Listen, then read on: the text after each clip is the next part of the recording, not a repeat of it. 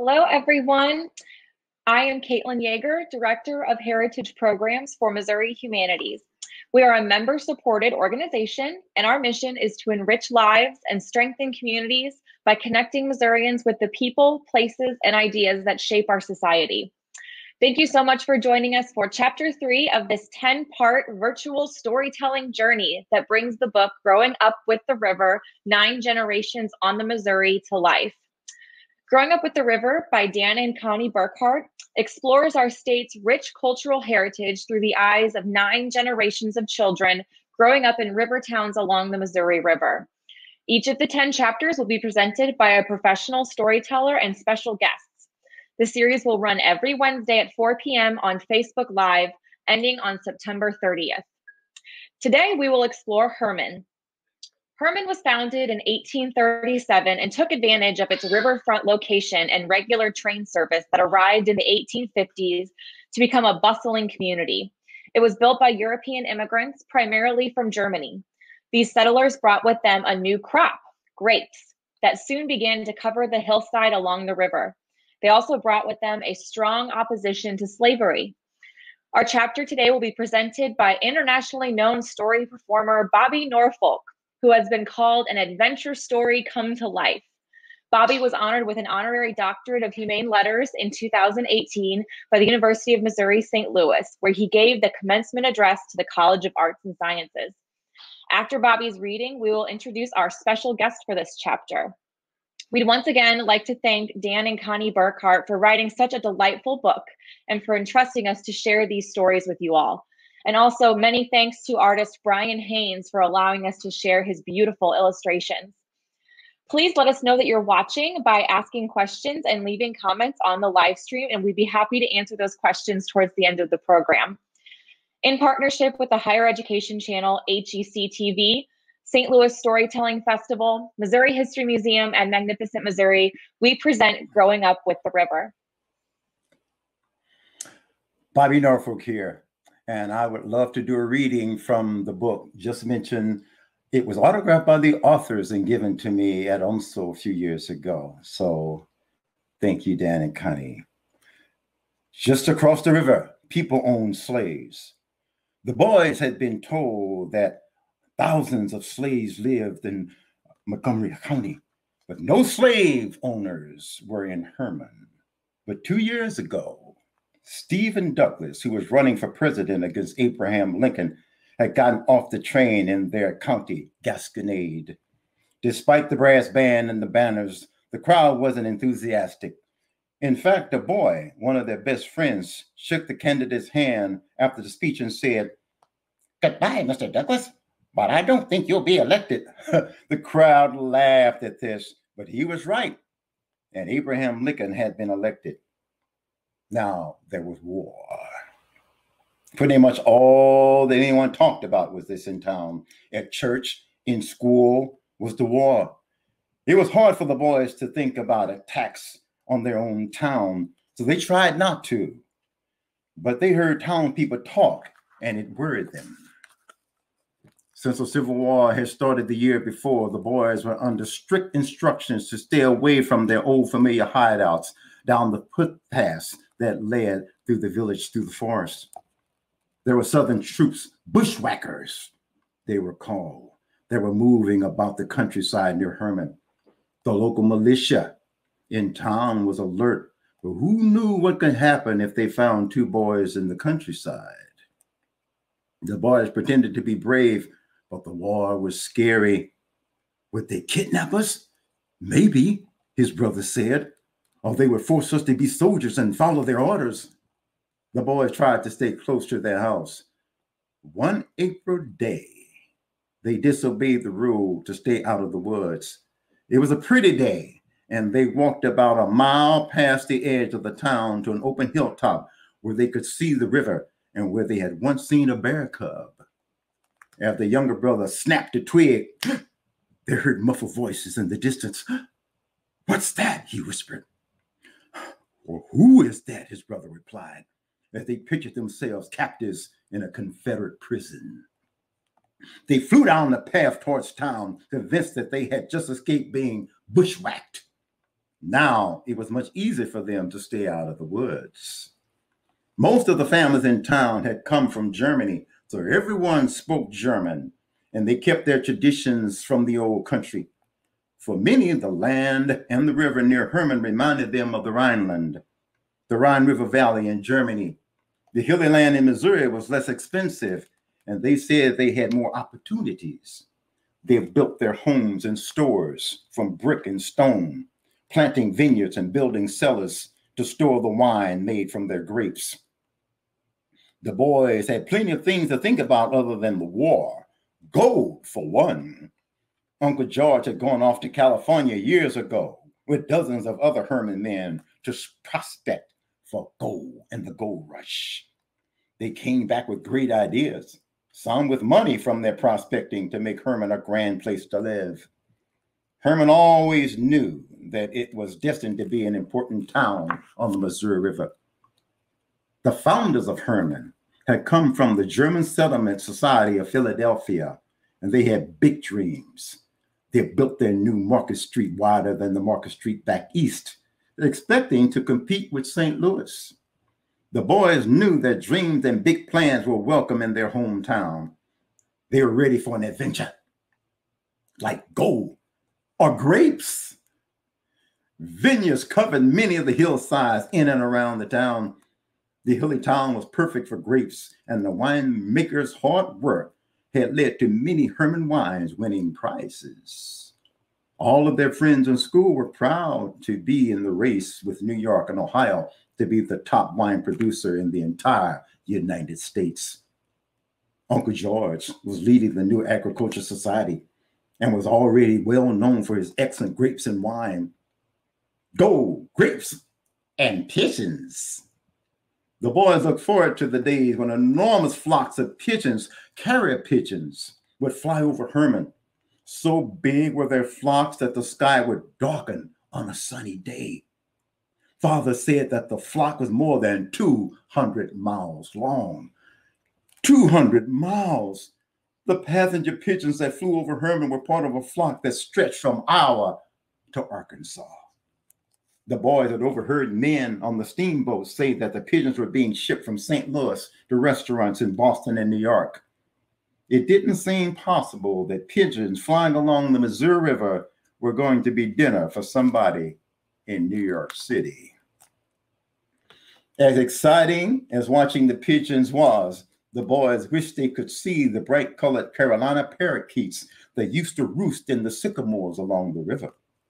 Now that so many people had settled there, the forest had been cleared for crops, and the beautiful green parakeets with their orange and yellow heads were no longer seen.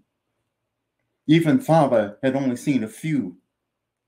The parakeets were no more than a memory and a dream now.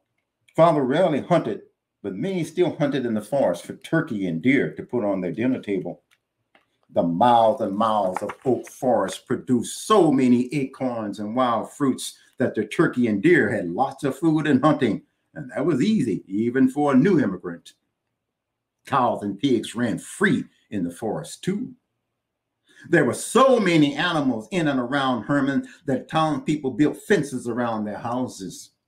They tried to keep the cows and pigs grazing near the creek out of their backyards and orchards, their carefully tended vegetable gardens. Meanwhile, steamboats arrived frequently at Hermann's busy wharf, bringing goods and shipping out timber and iron ore, or taking on massive loads of firewood to keep their boilers going to provide the power to navigate the Missouri's strong current. Men cut and stacked large piles of wood at the river's edge for the boats to load for the fuel when they arrived. The steamboats carried all sorts of goods, more than anyone could ever see pots, pans, tools, all sorts of food, silk, perfume, nails, and clothing of all kinds. Artists who painted the river were often on the boats too. They set up their easels and painted pictures of things that seemed ordinary to the boys, but they used colors that were even more beautiful than real life. Sadly, the steamboats also brought problems. Many people in town, including their dear mother, had become ill from an outbreak of cholera that began when sick passengers were being put off the boat into Hermann. A bench at school was empty because three of their schoolmates had died from cholera. Little sidebar here before I conclude. Stonehill Winery was one of the many Hermann wineries in the mid 1800s. By the end of the 19th century, it had grown to be one of the largest wineries in America. Now, the National Storytelling Network, also known as NSN, had a national conference here several years ago in St. Louis County at Westport Plaza. And so, two people, man and a woman, they were presenters for the storytelling conference here in St. Louis, and they were brought from the San Joaquin Valley of California. So we had some gift baskets ready for them. When the gift baskets were put in place in their rooms, and they brought them down, and they had this wine, Stonehill. What is this? a little bit of uh, arrogance there, but later on, when they took that top off, poured it, they were convinced. They were made believers they knew that the wines of Hermann were equal, if not superior, to those of San Joaquin Valley. But I digress. For the first time, Hermann's leaders decided that all children were required to attend the new school that had just been built. The boys studied maps of the Rhine River Valley so they could see where their parents were born. Classes were taught in both German and English so the boys could easily understand the Americans on the riverboats. Hermann was surely becoming a great city, and that grand house was one of its finest. It had been built before the boys were born in 1847. It looked directly at the wide river. The gardens of the house went all the way to the riverbank, interrupted only by the railroad tracks. From their large front porch, the boys could almost see their family's vineyards up on the high river bluff overlooking the valley. Today, they were playing marbles on the porch and hoping for a big sack of mail on the train. How exciting it would be to receive a letter from across the Atlantic Ocean. Like many of their friends, they had grandparents, aunts, and uncles and cousins in Germany. The boys' parents had left everyone to start a new life. Now their relatives are worried about the war in America. Everyone wrote more letters to reassure one another because they were scary, scary times during that war. Reading letters from their grandma and papa in German was good practice too. The boys wrote back in German. Someday soon, they hoped, the war would end and slaves would be free and Hermann would become an even more magical and exciting place to live. To conclude, the Arabia's last trip. One of the many steamboats regularly passing Hermann was the Arabia, described in an 1854 newspaper article as the new, fast, and magnificent Arabia. The boat passed Hermann for the last time, heading west from St. Louis in early September 1856. And on September the 5th, Arabia hit a snag north of Kansas City and quickly sank to the bottom of the river where it stayed for 130 years. During those 130 years, the river channel shifted by one mile and the Arabia was buried 45 feet under a cornfield. The wreckage and the cargo were salvaged in 1988, and a museum was created to display some of the 200 tons of cargo the boat carried. The museum illustrates the volume and the variety of the cargo on the steamboat headed to the frontier. On display are 4,000 pairs of shoes and boots, preserved fruits and pickles, dishes, guns and knives, tools of all kinds, Indian trading beads, and even two prefabricated houses. And that is a snippet of the power that Hermann brings to the state of Missouri.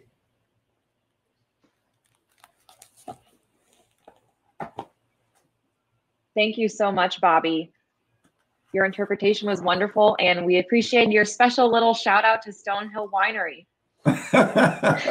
My pleasure. Thank you so much. Okay. I am very excited to introduce our special guest today, uh, who is dressed up um, by, an interesting character in Hermann's history and someone who has uh, very strong ties to Hermann.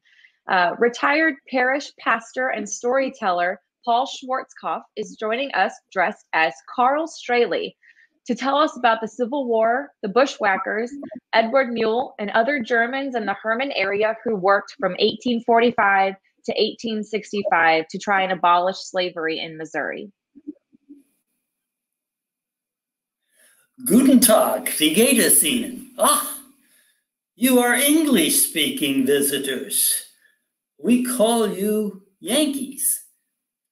You see, Hermann was settled by German immigrants and is populated now by them and their children of German immigrants.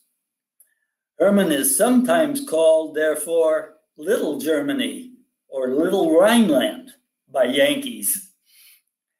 I am Carl Strehly. My sister Pauline and I met Edward Muehl in Cincinnati. We formed two partnerships. Edward and I became newspaper publisher partners, and Edward and Pauline became husband and wife. In 1843, we three moved from noisy Cincinnati to quiet Hermann, where I bought this small house. Pauline and Edward bought a house on the other side of 2nd Street. The year is now 1865. I want to tell you briefly about the past 20 years, years in which we experienced a growth of freedom, truth, and justice. In 1845, Muehl and I began to publish the Hermaner Volkenblatt, which in English means Hermann Weekly Newspaper. German readers throughout the United States and Europe learned about Hermann by reading the Volkenblatt, uh, which contained editorials against slavery written by Edward Muehl, my partner. Muehl was born in 1800 in Saxon, Germany. He studied at the University of Leipzig, where he became active in the German Students Association, which stressed unity, freedom, and equality of all. Students in the association wore red hats. The red hats themselves became a symbol of freedom for all. Muehl continued to proudly wear his red hat the rest of his life, and he urged everyone to work for freedom, truth, and justice for all. Beginning in 1845, Muehl wrote against slavery. He argued that slavery was against the high principles on which the United States was established in the Declaration of Independence and the preamble of the Constitution. His opposition to slavery increased after the U.S. Congress in 1850 passed the Compromise Bill that said that new states in the West could decide for themselves whether they would be slave or free states. Then in 1851, the California state legislature passed the Fugitive Slave Law, which said that escaped slaves must be returned to their owners. Muehl was plainly angry and named the fugitive slave law evil. Then he wrote in 1852 We did not escape slavery in our old homelands in order to support it here in America. 1852 was also the year that Harriet Beecher Stowe pub- had published her book, Uncle Tom's Cabin. The book was quickly translated into German, and in 1853, Muehl and I published it on the front page of the Hermanner Wochenblatt for 26 weeks. That was 26 issues to print the whole book. As early as 1851, Muehl predicted that the issue of slavery would lead to civil war in this country. And the civil war, which was inevitable, did begin 10 years later in 1861. But before the war, Hermann had another issue to deal with in 1854. It was cholera, a pandemic illness that made people very sick. There was no cure for cholera, so many people died. One of them on July 7th, 1854, was Edward Muehl. He gave us this farewell My whole life was dedicated to freedom. May you see freedom bloom more wonderfully than I have seen it. Muehl's passion for freedom, truth, and justice lived on after his death. When the Civil War broke out in 1861, thousands of German immigrants quickly answered President Lincoln's call for volunteers. These German American freedom fighters were one of the main reasons that Missouri, which was a slave state, remained in the Union. Without Muehl, in 1857, I sold the paper and the printing press to Joseph Groff, who continues to publish a weekly Hermann newspaper. Thus, I exchanged the printing press for a wine press. Back in the 1840s, Muehl encouraged people in Hermann to plant grapes and make wine, since the soil and hills around Hermann were good for growing grapes. And what do you do with grapes but make wine? This is the back of my house where I planted grapes in 1844. In 1857, I added the two story addition. It held the wine press and everything else needed to make wine. I planted four acre, acres of grapes on a hillside east of town. Uh, two legacies from Muehl live on winemaking and working for freedom, truth, and justice for all. I will give you the example of two Hermann men George Husmann, who was referred to in the book as Uncle George, George Husmann and Charles Manwaring. Their wines are excellent, and their work to end slavery will live on after them. They worked in the newly formed Republican Party to advocate the end of slavery and to help elect Abraham Lincoln as president in 1860. They placed ideals such as freedom, truth, and justice for all people above politics and personal preferences. They both served in the Union Army. But these war years have been very difficult in Missouri.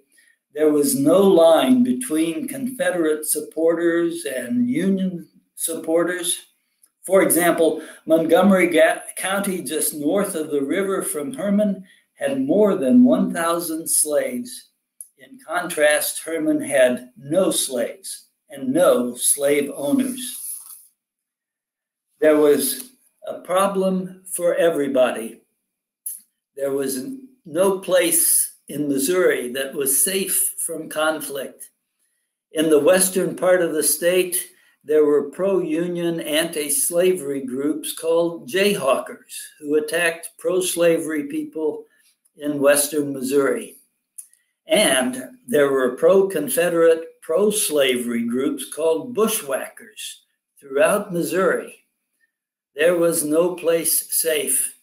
We in Hermann were really concerned and anxious about bushwhackers attacking Hermann because Hermann had a widespread reputation for being strongly against slavery.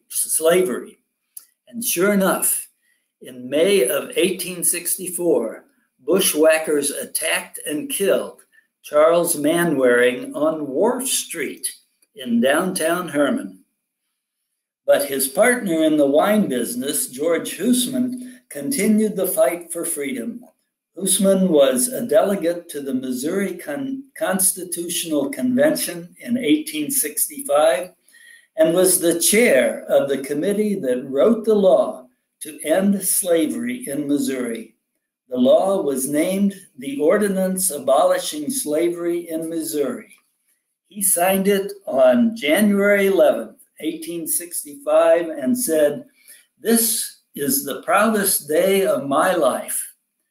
Now I say to you, work for freedom, truth, and justice for all. Auf Wiedersehen. Thank you so much, Paul. That was a wonderful interpretation of Carl Strehly, and we were very glad to have you share the stories of Carl Strehly and Edward Muehl with us. Thank you so much. Now, if anybody has questions for um, for us, uh, please feel free to put those in the comments, and we'll answer them as they come up. Um, thank you so much to everyone who has registered in advance for this series. Uh, with each chapter, we wanted to um, host a little giveaway as our way of saying thank you to the people who registered um, and kind of signed up to to get um, notified about this series and have um, been with us from the start. So our first winner will re- our, our first winner received a copy of Growing Up with the River, the book by Dan and Connie Burkhardt, which of course is the book that this program is based off of. Um, and last week for our second program, uh, we awarded a baseball cap, uh, which was graciously donated by the St. Louis Zoo, which features the logo for their Native Foods, Native Peoples, Native Pollinators program. Now, today, uh, we will randomly choose a name from our registration list to receive uh, a t shirt. This uh, Katy Trail themed t shirt uh, is made in a local print shop in Hermann, Missouri.